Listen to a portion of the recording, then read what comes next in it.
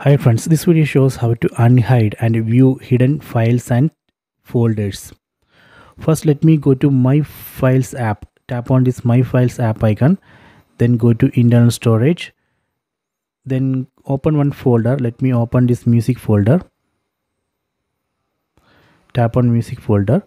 This music folder has one hidden file but I am not able to see that.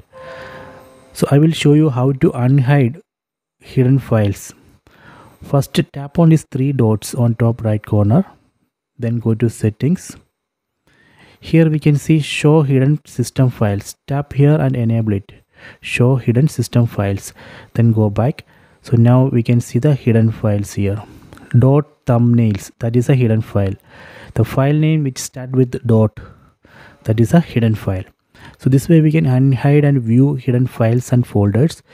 If you want to hide it again, go to three dots tap here then go to settings then disable show hidden system files. Done. Then go back. See now we are not able to see that hidden file. So this way we can unhide and view hidden files and folders. I hope you have enjoyed this video. Please subscribe my channel. Please like and share the video